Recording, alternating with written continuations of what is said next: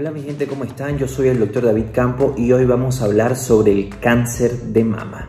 Antes de comenzar este video, no olvides de dejar ese hermoso like que ayuda mucho a este canal, de suscribirte a mi canal que no cuesta nada, de compartir esta información con todo el mundo y de seguirme en mi Instagram que te lo dejo aquí para que estemos mucho más en contacto. Comencemos con el video.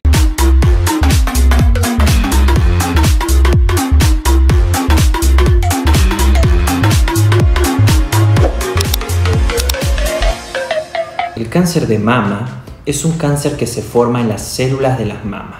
El cáncer de mama puede ocurrir tanto en los hombres como en las mujeres, pero es mucho más frecuente en las mujeres. El apoyo significativo para crear conciencia para el cáncer de mama y los fondos para la investigación han ayudado mucho a avanzar en el diagnóstico y tratamiento de este tipo de cáncer los índices de supervivencia para el cáncer de mama han aumentado muchísimo y el número de muertes con el cáncer de mama continúa reduciéndose, en su mayor parte a causa de factores como la detención más temprana, un nuevo acercamiento personalizado, el tratamiento y una mejor comprensión de la enfermedad también. Los síntomas. Entre los signos y síntomas del cáncer de mama se puede incluir lo siguiente un bulto o engrosamiento en la mama que se siente eh, diferente del tejido que lo rodea, cambio de tamaño, forma, aspecto de la mama, cambio en la piel que se encuentra sobre la mama con formación de hoyuelos, la inversión del pezón, la descamación, desprendimiento de la piel, formación de costras, enrojecimientos o pequeños orificios en la piel que se encuentran sobre tu mama también, como la piel de una naranja también se puede ver. Estas células se dividen más rápidamente que las células sanas y continúan acumulándose formando así un bulto o tumor.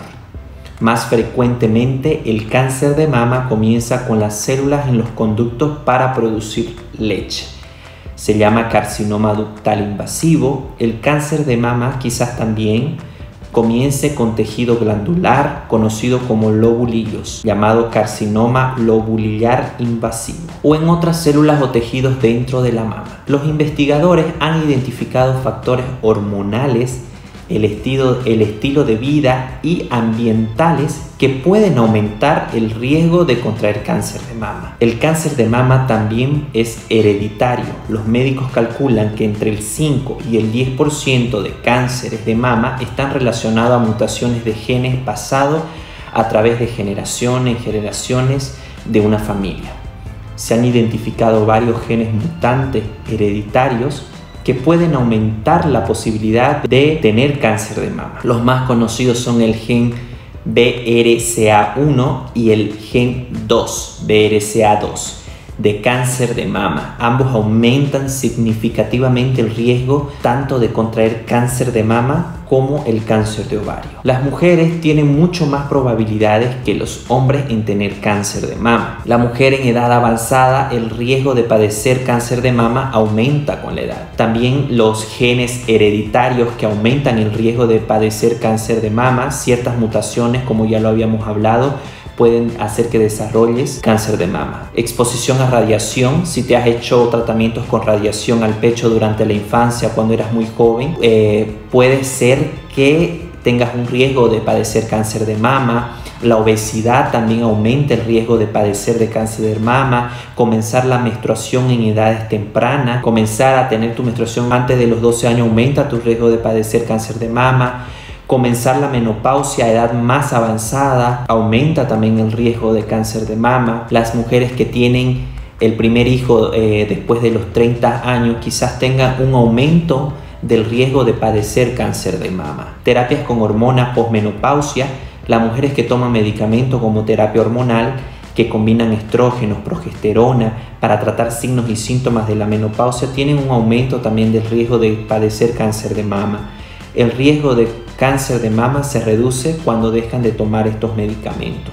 El consumo de alcohol aumenta el riesgo también de padecer cáncer de mama. ¿Qué podemos hacer para prevenir el cáncer de mama? Hacer un cambio de vida en nuestra vida cotidiana puede ayudar a reducir riesgo de padecer cáncer de mama eh, siempre es bueno que consultes a tu médico sobre los análisis para detención de cáncer de mama, hablar con tu doctor sobre cómo comenzar a hacer tus pruebas y exámenes para detectar si hay cáncer de mama, qué exámenes clínicos debemos hacernos, como sería la mamografía, eh, pregúntale sobre los beneficios y los riesgos también y junto eh, vas a poder decidir una buena estrategia para así detectar a temprano momento el cáncer de mama. Debes familiarizarte mucho con tu pecho, hacerte un autoexamen sobre tu mama, debes eh, inspeccionarte, conocer más de tu cuerpo para ver si hay algún cambio o un bulto, otras cosas que sean inusuales que tú quizás nunca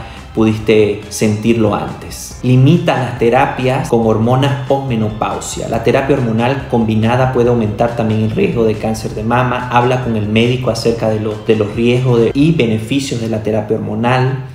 Algunas mujeres pueden presentar signos y síntomas molestos durante la menopausia y para esas mujeres puede ser aceptable asumir fin de aliviar los signos y síntomas de la menopausia. Para reducir el riesgo, usa menor dosis posible si estás haciendo la terapia hormonal durante el periodo más corto posible también.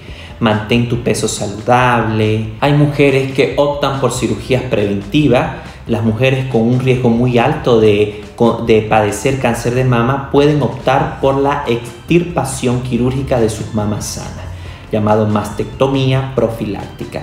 También por la extirpación de sus ovarios sanos, que es oferectomía profiláctica, para reducir el riesgo de tener cáncer de mama. La cirugía profiláctica, esto se debe hacer en caso de que tú tengas un alto riesgo de padecer cáncer de mama las mujeres tienen que tomar una decisión y acudir a su médico para que los oriente y cuál sería la mejor decisión para ustedes y para su salud. Espero que te haya gustado mucho este video. No olvides de que en este canal encuentras muchos videos relacionados con salud y relacionados a medicina. Nos vemos en un próximo video. Chao, chao.